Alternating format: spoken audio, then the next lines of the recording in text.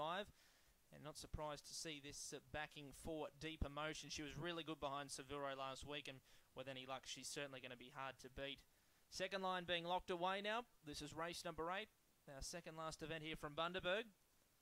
We're just about ready. Favourite is drawn in three. Call me wisdom. Green lights uh, switched on. Lure's set into motion.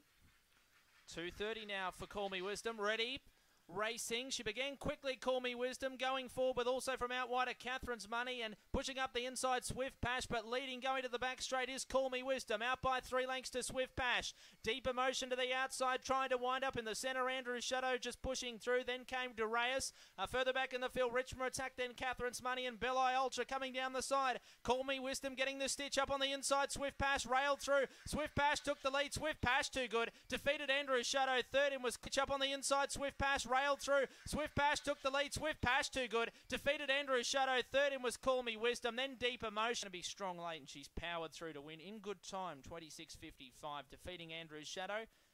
Third is Call Me Wisdom, officially fourth, six, Deep Emotion. One, two, three, and six, 26.55. 26.55, one, two, three, and six. Two and a half by a length.